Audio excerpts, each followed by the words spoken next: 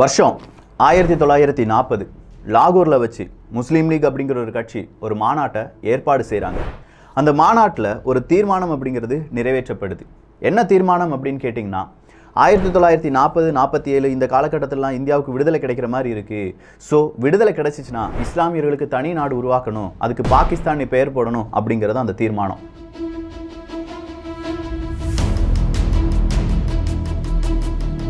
ஆயிரத்தி தொள்ளாயிரத்தி நாற்பதில் இஸ்லாமியர்களுக்கு பாகிஸ்தான் இந்தியா முழுவதும் ஹிந்துக்கள் இருப்பாங்க. அப்படின்னா நமக்கான நாடு எது அப்படின்னு சொல்லி சீக்கியர்கள் மனசில் ஒரு கேள்வி வருது.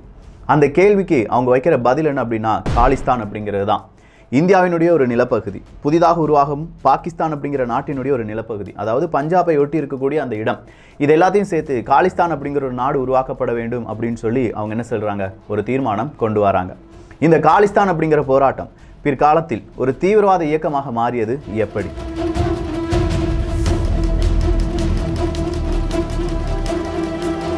இன்னைக்கு டெல்லி அப்படிங்கிறத நம்ம எடுத்துட்டோம்னா விவசாயிகள் போராட்டத்தின் போது இல்லாட்டி விவசாயிகள் போராடிய ஒரு இடத்தில் ஒரு மனிதருடைய உடல் அப்படிங்கிறது கிடைக்குது. இதுக்கு பின்னாடி விவசாயிகள் காரணமா இல்லை அதுக்கு பின்னாடி மதம் தான் காரணமா அப்படின்னு சொல்லி பலவிதமான சர்ச்சைகளை ஏற்படுத்தி இருக்கிறது இதனுடைய உண்மைத்தன்மை என்ன?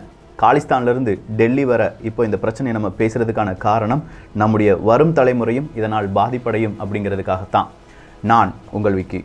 அன்பு தமிழஞ்சங்களுக்கு தமிழ் பொக்கிஷத்தின் வணக்கங்கள்.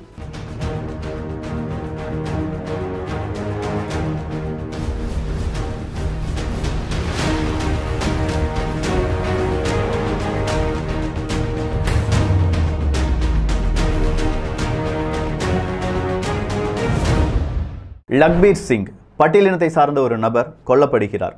எதுக்காக கொல்லப்படுகிறார் அப்படிங்கிறது தெரியறதுக்கு முன்னாடியே அவருடைய வீடியோ அப்படிங்கிறது வைரலாக மாறுது.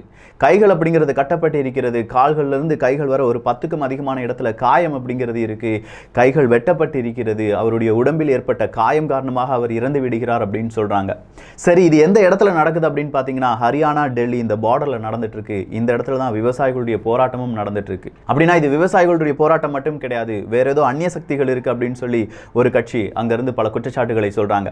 கிடையாது கிடையாது. இது விவசாயிகளுக்கும் இல்லாட்டி இந்த மாதிரி போராட்டக்காரர்களுக்கும் எந்த சம்பந்தமும் கிடையாது.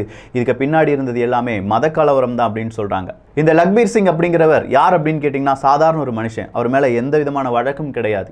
சில நபர்கள் சொல்றாங்க அவர் போதைக்கு அடிமையாக இருந்தார் அப்படின்னு சொல்லி காவல்துறை அதிகாரிகள் சொல்றாங்க போதைக்கு அடிமை அப்படிங்கிறத இன்னும் நாங்க ஊர்ஜிதப்படுத்தல அப்படின்னு சொல்றாங்க.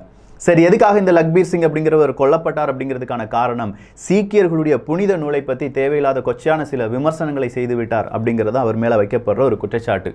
ஏன்னா இந்த லக்பீர் சிங் அவர்கள் கொல்லப்படுவதற்கு முன்பாக அங்கே நிறைய நபர்கள் இருந்திருக்காங்க. அந்த நபர்கள் எல்லாருமே சீக்கியர்கள். இல்லாட்டி இந்த காலிஸ்தான் அப்படிங்கிற ஒரு நாடு வேணும் அப்படின்னு சொல்லிட்டு இருக்காங்க பாருங்க. அந்த மாதிரியான தீவிரவாதிகள் அப்படின்னு சொல்லலாம். இவங்களை நிகாங்ஸ் அப்படின்னு சொல்லுவாங்க. நிப்பாட்டு. ஒரு நாடு நாடு வேணும் அப்படின்னு சொல்கிறவங்கள தீவிரவாதிகள்னு சொல்றியா? இல்லாட்டி போராளிகள்னு சொல்றியா? இந்த ஒரு விவரம் இல்லாட்டி இந்த ஒரு பிரச்சனையே இதுக்கு பின்னாடி பலராலும் பேசப்படும். எப்படி ஒரு நபரை நீ தீவிரவாதின்னு சொல்ற? எப்படி ஒரு நபரை போராளி அப்படின்னு சொல்றனா அதுக்கான விளக்கமும் இதுல வரப்போகுது. ஸோ இந்த நிகாங்ஸ் அப்படிங்கிறவங்க கண்டிப்பா காலிஸ்தான் அப்படிங்கிற நாட்டுக்காக போராடக்கூடிய நபர்கள் தான் அப்படின்னு சொல்லி சொன்னாலும் இந்த நிகாங்ஸா இருக்கக்கூடிய பல நபர்கள் இப்போ கைது செய்யப்பட்டிருக்காங்க. அதுக்கு பின்னாடி பல உண்மைகள் வெளியில வரும் அப்படின்னு சொல்லலாம். ஆனா யார் இந்த நிகாங்ஸ் இந்தியாவுக்கும் இந்த காலிஸ்தானுக்கும் என்ன தொடர்பு அப்படிங்கிறத இன்னும் கொஞ்சம் பின்னோக்கி போகலாம். அதுக்காகத்தான் நம்ம ஆயிரத்தி தொள்ளாயிரத்தி நாற்பதுலேருந்து தொடங்கணும். ஆயிரத்தி தொள்ளாயிரத்தி நாற்பது இல்லாட்டி இந்த பிரிட்டிஷ் ரூல் இந்தியாவுக்கு வர்றதுக்கு முன்னாடியே கிட்டத்தட்ட எண்பத்தி ரெண்டுக்கும் அதிகமான வருடங்கள் இந்த பஞ்சாப் மாகாணம் இல்லாட்டி அந்த இடத்த ஃபுல்லாக யார் தான் ஆண்டு வராங்க? இந்த சீக்கியர்கள் தான் ஆண்டு வராங்க. சீக்கியர்கள் ஒரு கட்டத்தில் இந்தியாவில் மட்டும் கிடையாது புதிதாக பிறந்த பாகிஸ்தான்லேயும் இருக்காங்க. ஸோ ஆயிரத்தி தொள்ளாயிரத்தி நாற்பத்தி ஏழில் இந்தியாவுக்கு சுதந்திரம் அடைந்த பிறகு சீக்கியர்கள் எல்லாரும் எங்கே வராங்க? பஞ்சாப். இப்போதைய பஞ்சாப் அப்படிங்கிற இடத்துக்கு வராங்க. இப்படி வந்தவங்க பஞ்சாபில் மட்டும் கிடையாது. இப்போதைய இமாச்சல பிரதேசம் ஹரியானா போன்ற மாநிலங்களிலும் என்ன செய்கிறாங்க கொஞ்சம் கொஞ்சமாக குடியேறுறாங்க. இப்படி குடியேற குடியேறவங்களுக்கு ஒரு அரசியல் கட்சியும் கொஞ்சமாக பின்புலம் தருகிறது. அதுதான் அகாலி தளம் அப்படின்னு சொல்லலாம். இந்த அகாலி தளம் பஞ்சாபி சுபா அப்படிங்கிற ஒரு கோரிக்கையை முன்வைக்கிறது. ஸோ இப்படி எல்லாமே நல்லபடியாக போயிட்டு இருக்கு இப்போ வர அவங்க போராளிகள் தான். தீவிரவாதிகள் கிடையாது சரி அவங்க இன்னும் போராடவே ஆரம்பிக்கலை. இப்படி வந்தவங்க எங்களுடைய கலாச்சாரம் கெட்டு போகுது. எங்களுக்கான அலவன்ஸ் இல்லாட்டி எங்களுக்கான நன்மைகள் எதுவுமே நடக்க மாட்டேக்கு. எங்களுக்குன்னு ஒரு தனியாக ஒரு இடம் வேண்டும் ஒரு நாடு வேண்டும் அப்படிங்கிற ஒரு கோரிக்கையை முன்வைக்கிறாங்க. ஆனால் இந்த கோரிக்கை அகாலிதளம் என்ன சொல்கிறாங்கன்னா தனிநாடு கோரிக்கைக்கு நான் எப்பவுமே உங்க கூட சப்போர்ட்டாக நிற்க மாட்டேன். ஆனால் உங்களுடைய கல்ச்சர் உங்களுடைய இனம் உங்களுடைய மொழி எல்லாமே பாதுகாக்கப்பட வேண்டும் அப்படின்னு சொல்கிறீங்க அதுக்காக நான் உங்க கூட நிற்கிறேன் அப்படின்னு சொல்லி அகாலிதளம் என்ன செய்கிறாங்க இவங்க கூட. அதாவது இந்த காலிஸ்தான் இல்லாட்டி இந்த சீக்கியர்களுக்காக நிற்கிறது. இப்படி பல பிரச்சனை இந்தியாவுக்குள்ள இருக்கும்போது இந்தியாவை எப்படியாவது அழிக்க வேண்டும் அப்படின்னு சொல்லி கங்கணம் கேட்டுட்டு இருக்கிற பாகிஸ்தான் ஆயிரத்தி தொள்ளாயிரத்தி அறுபத்தி அஞ்சில் இந்தியாவுக்கு எதிராக பலவிதமான பிரச்சனைகளை ஏற்படுத்துகிறது. இதை நம்ம தமிழ் பட்சத்தில் ஆல்ரெடி பார்த்துருக்கோம். ராசிரீஸ்லேருந்து எல்லாமே பார்த்துருக்கோம். ஸோ ஆயிரத்தி தொள்ளாயிரத்தி அறுபத்தஞ்சில் பாகிஸ்தானுடைய சப்போர்ட்டும் யாருக்கு கிடைக்குது? இந்த காலிஸ்தான் அப்படின்னு போராடிட்டு இருக்காங்க பார்த்தீங்களா கொஞ்சமாக கீ கொடுக்குறாங்க. நீ செய் நீ அவங்களுக்கு எதிராக போராடு அப்படின்னு சொல்லி கீ கொடுக்குறாங்க. இதனால் வேறு வழி கிடையாமல் பஞ்சாப் அப்படிங்கிற ஒரு மாநிலமும் அதாவது சீக்கியர்கள் அதிகமாக இருக்கக்கூடிய ஒரு இடம் பஞ்சாப் அப்படின்னும் அதே மாதிரி ஹிந்துக்கள் அதிகமாக இருக்கக்கூடிய மாநிலங்கள் ஹரியானா மாநிலம் இமாச்சல் பிரதேசம் அப்படின்னு சொல்லி பிரிக்கப்படுகிறது. இப்படி பஞ்சாப் அப்படிங்கிற ஒரு மாநிலம் கிடைத்த பிறகும் இந்த சீக்கியர்களுடைய கோரிக்கை அப்படிங்கிறது இன்னும் கொஞ்சம் வலுப்பெறுது. எங்களுக்கு மாநிலம் மட்டும் போதாது எங்களுக்கான நாடு உருவாக வேண்டும் அப்படின்னு சொல்கிறாங்க சொல்கிறாங்க இந்த நேரம் அதாவது வருஷம் ஆயிரத்தி தொள்ளாயிரத்தி எழுபத்தி ஒன்று ஜெகதீஷ் சிங் சௌஹான் அவர்கள் எங்க போறாருன்னா நேரா அமெரிக்காவுக்கு போறாரு. அமெரிக்காவுக்கு போனவர் நான் காலிஸ்தான் அப்படிங்கிற ஒரு நாடை உருவாக்க போறேன் எல்லாரும் எனக்கு சப்போர்ட் பண்ணுங்க அப்படின்னு சொல்றாரு. ஸோ இந்த இந்தியாவை விட்டுட்டு நிறைய அந்நிய நாடுகளில் இருக்கக்கூடிய சீக்கியர்கள் என்ன செய்கிறாங்க இந்த ஜெகஜீத் சிங் சௌஹானுக்கு நிறைய பணம் அனுப்புகிறாங்க கோடிக்கணக்கில் பணம் அனுப்புறாங்க. இவர் என்ன செய்றாருன்னா மறுபடியும் இந்தியாவுக்கே வரார். இந்த செய்திகள் எங்க வருது? அமெரிக்காவினுடைய ஊடகங்களில் பெரிய ஒரு செய்தியா வருது. இந்தியாவுக்கு எதிரான செய்தி அப்படின்னு சொல்லும்போது எல்லா நாடுகளும் அதை பிரசுரிக்கிறாங்க. ஆயிரத்தி தொள்ளாயிரத்தி எண்பது ஏப்ரல் மாதம் பனிரெண்டாம் தேதி இந்த ஜெகஜீத் சிங் சௌஹான் அப்படிங்கிறவர் இந்திரா காந்தி அம்மையார்களை பார்த்து காலிஸ்தான் அப்படிங்கிற நாடு உருவாக வேண்டும் அப்படிங்கிற ஒரு கோரிக்கையை வைக்கிறார்.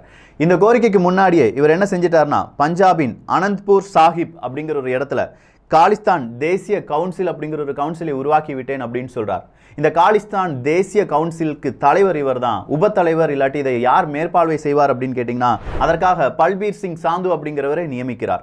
இந்த பல்பீர் சிங் சாந்து அப்படிங்கிறவரும் அதே மாதிரி இந்த ஜெகஜீத் அப்படிங்கிறவங்களும் அடுத்ததாக செஞ்சது தான் ரொம்ப வினோதமாக இருந்தது. ஜெகஜீத் முதல்ல அமெரிக்காவுக்கு போய் தானே செய்தியை வெளியிட்டார். இப்போ நேராக லண்டனுக்கு போகிறார் லண்டனுக்கு போய் நான் காலிஸ்தானை அமைத்து விட்டேன் அப்படின்னு சொல்லி ஒரு பெரிய ப்ரெஸ் மீட்டை சொல்கிறார் நிறைய ப்ரெஸ்ஸுக்கு பணம் கொடுத்து இந்த மாதிரி செய்திகளை வெளியிட சொல்றாங்க. அதே நேரத்தில் இந்த பல்பீர் சிங் அப்படின்னு ஒருத்தர் இருந்தார் பாத்தீங்களா? அவர் என்ன செய்றார்? அமிர்தசரஸ் அப்படிங்கிற இடத்துல காலிஸ்தான் உருவாக்கிட்டேன் அப்படின்னு சொல்லி அதே நேரத்தில் அவரும் ஒரு பிரஸ் மீட்டை கொடுக்கிறார். அது மட்டும் கிடையாது காலிஸ்தானுக்கு கொடி இதுதான். காலிஸ்தானுடைய பணம் இதுதான். காலிஸ்தானுடைய அஞ்சலகம் இப்படித்தான் இருக்க போகுது அப்படின்னு சொல்லி ஸ்டாம்ப்ல இருந்து எல்லாமே வெளியில விடுறாங்க. இதற்கான காரணம் என்ன? அரசியல் காரணம் என்ன அப்படின்னு சொல்லி தேடி போனோம்னா அகாலிதளம் சொல்லுது இதற்கு நான் காரணம் கிடையாது காங்கிரஸ் தான் இந்திரா காந்தி அவர்கள் தான் காரணம் அப்படின்னு சொல்றாங்க. ஏன்னா அகாலிதளம் தான் சீக்கியர்களுக்கு ரொம்ப பெரிய ஆதரவு கொடுக்குது அப்படின்னு சொன்னனால பல நேரங்களிலும் காங்கிரஸை விட அகாலிதளத்துக்கு பெரிய மதிப்பு இருந்துச்சு. அந்த மதிப்பை குறைப்பதற்காக இவங்க என்ன செஞ்சாங்களாம்? இந்திரா காந்தி அவர்கள் என்ன செஞ்சாங்க? மறுபடி சீக்கியர்களுக்கு ரொம்ப முன்னுரிமை கொடுக்க ஆரம்பிச்சாங்க. அதுதான் இவ்வளோ பெரிய பிரச்சனையாக இருக்கு அப்படின்னு சொல்லி அகாலிதளம் குற்றச்சாட்டை சுமத்துகிறது. இந்த பக்கம் காங்கிரஸ்னுடைய தியரி அதுக்கு நேர ஆப்போசிட்டா இருந்துச்சு. அகாலிதளம் தான் காரணம் அப்படின்னு சொல்லி. ஸோ இரண்டு கட்சிகளும் அரசியல் செய்வதற்காக நல்லா கவனிச்சுக்கோங்க. இரண்டு கட்சிகள் அரசியல் செய்வதற்காக இன்றைக்கும் இதுதான் நடந்துட்டுருக்கு அப்படிங்கிற உண்மையை நம்ம புரிஞ்சுக்கிறதுக்கான ஒரு வரலாறு தான் இது. எப்போவும் எந்த ஒரு விஷயமும் நடந்தாலும் அதே மாதிரியான ஒரு வரலாற்று சம்பவம் நடந்திருக்கும். ஸோ அந்த இரண்டு கட்சிகளும் மாற்றி மாற்றி அரசியல் செய்வதற்காக மதம் இல்லாட்டி மார்க்கம்லாம் அப்படின்னு சொல்றோம் பாருங்க. இந்த சீக்கிய மார்க்கம் சீக்கிய மதம் அப்படின்னு சொல்கிறத கையில் எடுத்து பெரிய ஒரு அரசியல் விளையாட்டை விளையாடுறாங்க. இப்போ தான் ஜர்னைஸ் சிங் பிந்தரன் வாலே அப்படிங்கிறவர் வருகிறார். இந்த பிந்தரன் வாலே அப்படிங்கிறவர் வர்றதுக்கு முன்னாடி வர இவங்க போராளிகள் மட்டும்தான். இவங்க தீவிரவாதிகள் ஆகவே இல்லை. இப்போ தான் இந்த பிந்திரன் வாலை வருகிறார்கள். இந்த பிந்திரன் வாலையை வளர்த்து விட்டது இந்திரா காந்தி அப்படின்னு சொல்கிறவங்களும் இருக்காங்க. இல்லை பிந்திரன் வாலை வளர்த்து விட்டவங்க அகாலி தளம் தான் அப்படின்னு சொல்கிறவங்களும் இருக்காங்க. இரண்டு கூற்றுகளும் இருக்குது ஸோ பிந்திரன் வாலை என்ன செய்யறாருன்னா இந்த காலிஸ்தானுக்கு எதிராக யார் பேசினாலும் சரி சீக்கியர்களுக்கு எதிராக யார் பேசினாலும் சரி இல்லை உங்களுக்கு தனிநாடு தரமாட்டோம்னு சொன்னாலும் சரி எல்லாரையுமே கொஞ்சம் குவிக்கிறார்கள். தனிநாடு கேட்டவங்க இந்திய நாட்டில் இருக்கக்கூடிய மனிதர்களை கொல்ல ஆரம்பிக்கிறாங்க. இவங்க இவங்களுக்கு சப்போர்ட் அந்நிய நாடுகளிலிருந்து வர ஆரம்பிக்கிறது. ஸோ இந்த பிந்திரன் வாலை வந்த பிறகுதான் இந்த போராளிகள் அப்படின்னு சொல்றவங்க போராளிகள் அவங்களுடைய போராட்டத்தை மட்டுமே பார்த்து கொண்டிருந்தவர்கள் ஒரு கட்டத்துக்கு மேல பார்க்குற நபர்கள் எல்லாமே கொல்ல ஆரம்பிக்கிறாங்க. அவங்களுடைய குறிக்கோளுக்கு எதிராக இருந்தால் யாரை வேணாலும் கொல்லுவோம் அப்படிங்கிற ஒரு நிலைமைக்கு வராங்க. அவங்க தீவிரவாதியாக மாறுறாங்க. இப்போ ஆயிரத்தி தொள்ளாயிரத்தி எண்பது இந்த காலகட்டத்துக்கு நம்ம வந்துட்டோம். இப்போ இந்த பிந்திரன் வாலைக்கு ரொம்ப பெரிய அளவு உதவியாக இருந்தது யார் அப்படின்னு கேட்டிங்கன்னா ஷபக் சிங் அப்படிங்கிறவர் தான். இந்த ஷபக் சிங் அப்படிங்கிறவர் ஆயிரத்தி தொள்ளாயிரத்தி எழுபத்தி ஒன்றில் அந்த யுத்தம் இந்தியா பாகிஸ்தான் பங்களாதேஷ் அப்படிங்கிற யுத்தம்லாம் நடந்துச்சுல அதில் பெரிய அளவு முன்னாடி நின்று செயல்பட்டாலும் ஊழல் குற்றச்சாட்டில் அவருடைய பதவி அப்படிங்கிறது பறிக்கப்படுது. ஸோ சபக் சிங் என்ன நினைக்கிறாரு? இந்தியா என்ன ஏமாத்திருச்சு நான் பழி வாங்கணும் இந்தியாவை பழி வாங்கணும் அப்படின்னு சொல்லி இந்த பிந்திரன்வாலை மற்றும் அவங்களுடைய கூட்டத்துக்கு பெரிய ராணுவ பயிற்சியை கொடுக்கிறார். இப்போ மறுபடியும் இந்த தீவிரவாத குழு கொஞ்சம் கொஞ்சமாக முன்னேறுகிறது இல்லாட்டி அவங்களுக்கு தேவையான பலம் அப்படிங்கிறது கிடைச்சிக்கிட்டே இருக்கு. ஆயிரத்தி தொள்ளாயிரத்தி எண்பத்தி ரெண்டுல இருந்து இந்த பிந்திரன்வாலை பொற்கோவில் அப்படிங்கிற இடம் இருக்கு பாருங்க அதுக்குள்ள இருந்து அவங்களுடைய காய் நகரத்தில் எல்லாமே ஆரம்பிக்கிறாங்க. பெரிய ஒரு பிரிவினைவாதியாகவே மாறிட்டாங்க. ஸோ பிரிவினைக்கு எதிராக யார் பேசினாலும் கொள்றாங்க அப்படிங்கிற பயம் வரும்போது ஆயிரத்தி தொள்ளாயிரத்தி எண்பத்தி நாலு இந்த பிந்திரன்வாலே பொற்கோயில் இருக்கக்கூடிய நிறைய நபர்கள் ஏன்னா ஆயிரத்தி தொள்ளாயிரத்தி எண்பத்தி நாலு ஜூன் மாதம் ஒன்றாம் தேதி இந்திய அரசாங்கத்திற்கும் இந்த மாதிரி காலிஸ்தான் தீவிரவாதிகளுக்கும் இடையே ஒரு பேச்சுவார்த்தை அப்படிங்கிறது நடத்தப்பட்டிருந்தது. அந்த பேச்சுவார்த்தை தோல்வி அடைஞ்ச உடனே இந்த பொற்கோவிலில் இருக்கக்கூடிய பக்தர்களுக்கு எதிராக மிகப்பெரிய தாக்குதலை நடத்துறாங்க. இந்த தாக்குதலை நானூறுல இருந்து ஒரு ஆயிரத்துக்கும் அதிகமான நபர்கள் இருந்திருக்கலாம். எக்ஸாக்டா இந்தியாவின் கணக்குப்படி நானூற்றி அறுபத்தி நாலு நபர்கள் அப்படின்னு சொல்றாங்க. வேறொரு கணக்குப்படி ஒரு ஆயிரத்துக்கும் அதிகமான நபர்கள் கொல்லப்பட்டிருக்கலாம் அப்படின்னு சொல்றாங்க. ஸோ அங்கே இருக்கக்கூடிய பக்தர்கள் காலிஸ்தான் தீவிரவாதிகள் இவங்க எல்லாருமே என்ன செய்யப்படுகிறார்கள்? கொல்லப்படுகிறார்கள். ஒரு கட்டத்தில் ப்ளூ ஸ்டார் அப்படிங்கிற ஒரு ஆப்ரேஷனை இந்திரா காந்தி அவர்கள் முன்னெடுத்து செல்கிறார்கள்.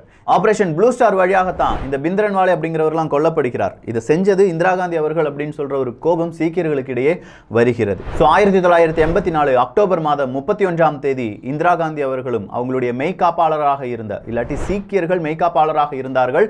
அவர்கள் வழியாகவே கொல்லப்படுகிறார். இதற்கு காரணம் சீக்கியர்கள் தான் அப்படின்னு சொல்றது ஒரு கட்டமா இருந்தாலும் இவங்க கொல்லப்படுறதுக்கு கரெக்டா மூணு நாட்களுக்கு முன்னாடி தான் ஜம்மு காஷ்மீருக்கு போயிருந்தாங்க இந்திரா காந்தி அம்மையார்கள்.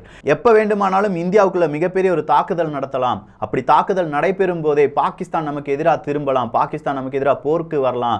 அப்படி போருக்கு வந்தால் ராணுவம் தயாராக இருக்க வேண்டும் அப்படிங்கிற மிக முக்கியமான ஒரு உத்தரவை பிறப்பித்திருந்தார் இந்திரா காந்தி அவர்கள்.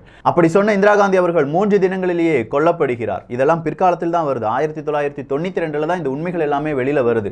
கண்டிப்பாக காலிஸ்தான் அப்படிங்கிறவங்களுக்கு ஆதரவாக பாகிஸ்தான் செயல்பட்டது அப்படிங்கிறது இன்றளவும் அது உண்மையாகவே தொடர்கிறது. ஐஎஸ்ஐஎஸ் தீவிரவாதிகளாக இருக்கட்டும் இல்லை பாகிஸ்தானுடைய உளவமைப்பாக இருக்கட்டும் காலிஸ்தான் இந்தியாவை சீர்குலைப்பதற்கு இந்த மாதிரியான யுக்திகளை பயன்படுத்துகிறார்கள் அப்படின்னு சொல்லலாம். நியாயமான கோரிக்கை எந்த கோரிக்கையாக இருந்தாலும் சரி. இப்போ உங்களை ஒருத்தன் வீழ்த்தணும்னா என்ன நினைப்பான்? உங்களுடைய வீக் பாயிண்ட் என்ன அப்படின்னு சொல்லி யோசிச்சுட்டே இருப்பான். அது அலுவலகத்திலேயா இருக்கட்டும் இல்லை உங்கள் வீட்லேயா இருக்கட்டும் உங்களுக்கு எப்போ கஷ்டகாலம் வருது அப்படின்னு சொல்லி பார்த்துட்டே இருப்பான். உங்களுக்கு ஏதாவது சின்னதாக ஒரு கஷ்டகாலம் வருது உங்கள் வீட்டுக்குள்ளே ஒரு ஸ்ட்ரகிள் வருதுன்னா அதை பயன்படுத்தி உங்களை வீழ்த்த நினைப்பார்கள். அதே மாதிரி தான் விவசாயிகளுடைய போராட்டம் அப்படின்னு சொல்லும்போது இந்த விவசாயிகளுடைய போராட்டத்தை எப்படி காலிஸ்தானுடைய போராட்டமாக மாற்ற வேண்டும் அப்படின்னு சொல்லி ஒரு குரூப் அப்படியே நினைக்குது. சரி இந்த போராட்டத்துக்கு மத்தியில் நம்ம புகுந்து வேற ஏதாவது செஞ்சிடலாம் அப்படின்னு சொல்லி மறுபடியும் அந்த போராட்டக்காரர்களையே கொச்சைப்படுத்தும் விதமாக பல விஷயங்களை செய்து வருகிறார்கள். அதுதான் இப்போ டெல்லியிலையும் நடந்திருக்கு. போராட்டம் அப்படிங்கிறது விவசாயிகள் மட்டும் இருந்தால் இவ்வளோ பெரிய பிரச்சனையாக இருந்திருக்காது. அந்த விவசாயிகள் போர்வையில் இருக்கக்கூடிய நபர்கள் இப்போது சில நபர்களை கொள்வது விவசாயிகள் உண்மையாக போராடக்கூடிய விவசாயிகளுக்கும் பெரிய ஒரு பிரச்சனையாக மாறும் என்பதில் மாற்று கருத்து கிடையாது. ஏன்னா இதில் பல அரசியல்கள் விளையாடுவதற்கான வாய்ப்புகளும் இருக்கின்றன. ஸோ காலிஸ்தானுடைய வரலாறு இதுதான். இதுக்கு பின்னாடி நடந்த வன்முறைகள் இதுக்கு பின்னாடி நடந்த பலவிதமான உயிர் சேதங்கள் அப்படிங்கிறதெல்லாம் சொல்லி மாளாது இந்திரா காந்தி அவர்களுடைய அந்த இறப்பும் சாதாரண ஒரு இறப்பு கிடையாது. அதுக்கு பின்னாடி அவங்க போட்ட திட்டங்கள் அப்படின்னு சொல்கிற ஒரு நீண்ட நெடிய வரலாறு இருக்குது பார்க்கலாம். முடிந்தால் அதையும் தமிழ் பட்சத்தில் வேறொரு காணொலியாக பார்க்கலாம். இப்போ ஓவராலாக உங்களுக்கு புரிஞ்சிருக்கும். டெல்லியில் என்ன பிரச்சனை நடந்துட்டு இருக்கு அந்த பிரச்சனை எப்படி திசை திருப்ப பார்த்துட்டு இருக்காங்க அந்த பிரச்சனையை வச்சு வேறொரு பிரச்சனையை வளர்த்து விடுவதற்காக எத்தனை நபர்கள் எத்தனை நாடுகள் காத்து கொண்டிருக்கிறது அப்படிங்கிற கம்ப்ளீட் டீட்டெயில்ஸ் உங்களுக்கு புரிஞ்சிருக்கும். கொஞ்சம் விழிப்புடன் செயல்படுங்கள். நம்ம பார்க்குற செய்திகள் நம்ம கேட்குற செய்திகள் இதுக்கு பின்னாடி பல வரலாறுகள் இருப்பதற்கான வாய்ப்புகள் இருக்குது அந்த வரலாறை நல்லா கவனிச்சா இதுக்கு பின்னாடி அந்நிய சக்திகள் இருக்கா உண்மையான சக்திகள் இருக்கா இல்லை அரசியல் இருக்கா அப்படிங்கிறத புரிந்து கொள்ளலாம். இதை பற்றிய உங்களுடைய கருத்து இங்கே வரவேற்கப்படுகிறது. எல்லாரும் கமெண்ட் பண்ணுங்கள் நண்பர்களுக்கும் பகிருங்கள். அதே மாதிரி சப்ஸ்கிரைப் பண்ணாதவங்க சப்ஸ்கிரைப் பண்ணிக்கோங்க. நல்லதை பகிர்வோம் நல்ல சமுதாயத்தை உருவாக்குவோம். நன்றி. வணக்கம்.